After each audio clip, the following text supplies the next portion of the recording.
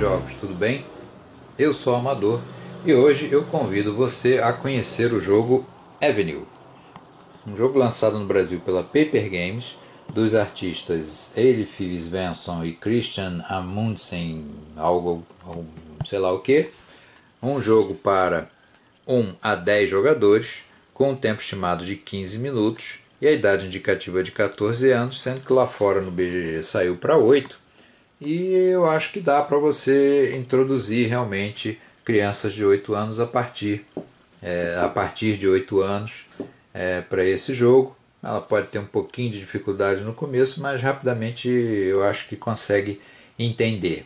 E o objetivo do jogo qual é? Você precisa no seu bloquinho traçar estradas de modo que liguem as uvas às suas fazendas, as fazendas que estão pontuando naquela rodada, e, para ganhar alguns pontos extras, também ligar uvas da mesma cor ao castelo, então uvas roxas com castelo roxo ou uvas verdes com castelo verde, de modo você ganhar uma pontuação maior e com isso você ser é, você terminar o jogo como vencedor. O jogo consiste você um jogador vai abrir a carta, as cartas de fazenda a cada rodada, indicando que aquela fazenda, que no caso a fazenda B, é a fazenda que vai pontuar. Então o jogador já preenche aqui no primeiro espaço, que é a fazenda B, que vai pontuar ao final da rodada. Aí o jogador vira a primeira a primeira carta de estrada e é a de número 5, então e é uma reta. Então aqui embaixo você tem, você sabendo o número, você não precisa nem ver propriamente, porque no próprio bloco já te traz aqui as dicas. Então, a carta 5 ela é uma estrada reta. Então, eu fiz aqui meu primeiro traço aqui nesse espaço. Então, depois vem uma, uma outra carta reta de número 5. Então, eu fiz aqui traçando já em direção à fazenda B. Então, eu já estou tentando ligar aqui três uvas na fazenda B. Então, abre mais uma. Então agora é um para baixo. Aí esse para baixo eu já fiz aqui ligando, então agora eu já teria a minha fazenda ligada a essas três uvas. Então teria mais uma carta. Essa carta agora é para cima. Então eu fiz aqui já tentando fazer com que eu consiga fazer uma ligação para as uvas aqui de baixo. E eu tiro mais uma carta e aí é uma carta para baixo, eu coloquei aqui e liguei essa uva. Então eu liguei quatro uvas até o momento nesta fazenda B. E aqui no momento em que você tira quatro cartas amarelas, a rodada termina, aquela rodada termina e cada jogador vai fazer a sua pontuação. Então você ganha um ponto para cada uva que esteja ligada à fazenda daquele momento. Como eu já identifiquei, eu tenho quatro, eu marco os meus quatro pontos aqui. E aí então agora descartam-se essas cartas e vamos começar uma nova rodada aonde o jogador vai então abrir a nova carta de fazenda, que é a fazenda F. Então a próxima fazenda a ser pontuada vai ser a fazenda F. Então os jogadores já colocam aqui e identificam onde é que está a fazenda F. Fazenda F está aqui, ó. Então eu tenho que ir começando a traçar um caminho de modo que, que se eu conseguir ligar essa fazenda a esse caminho, todas essas uvas elas também vão pontuar nesta fazenda.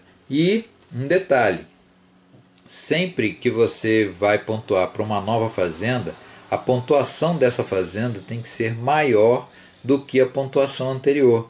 Então eu não posso nem fazer 4 aqui, eu tenho que fazer 5 ou mais. Então você sempre tem que ir aumentando a quantidade de uvas interligadas naquela fazenda para que você marque a pontuação.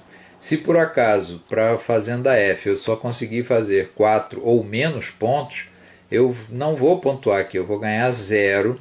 E ao final da partida, é, quando tiverem as cinco rodadas concluídas, nós vamos fazer ainda a pontuação da quantidade de uvas roxas ligadas ao castelo roxo, as quantidades de uvas verdes ligadas ao castelo verde, fazemos a pontuação final e depois a gente ganha cinco pontos negativos por cada fazenda zerada.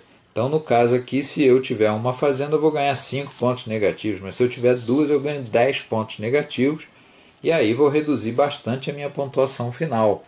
Então, você tem que tomar um cuidado muito grande fazer um planejamento de modo a que você não, não faça pontos demais logo no começo para que não dificulte, para que você dê continuidade nas suas estradas. E uma outra ação que você pode fazer na, na sua rodada, que o jogador pode fazer, é quando abrir uma carta de estrada, se você não preencher aquela estrada no seu tabuleiro, você pode olhar.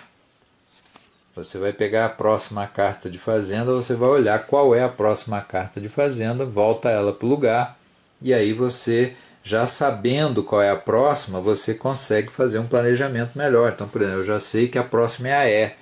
Então, se eu conseguir fazer uma ligação da F passando pela E e pegando aqui na B, eu vou fazer uma pontuação bem grande, tanto na F quanto na próxima. Então, eu vou me planejando. Opa, vou tentar fazer aqui de um jeito que eu consiga, é, vamos dizer que eu pare aqui, né? eu faço só esse aqui, se eu fizer três pontos não me adianta, mas se eu fizer um traço por aqui, ó, eu vou fazer dois, três, quatro, cinco, seis, sete pontos. Aí ah, já ficou bom, que é mais, é mais do que quatro. E aí na próxima, como é a E, eu posso tentar fazer uma sequência para cá, e aí eu ganho mais dois pontos eu conseguir fazer essa interligação. Então eu já tinha sete aqui, quatro nessa daqui eu já vou para 11 e 12, 13. Então eu já ganho 13 pontos. Então você tem que ir tentando fazer esse planejamento de modo a maximizar a sua pontuação. Avenue é isso, é um jogo bem legal, bem divertido, vale a pena você conhecer. E não esqueçam de visitar a página do Clube BG para esse ou para outros jogos de seus interesses. E eu fico por aqui e aguardo vocês na nossa próxima aventura. Até lá!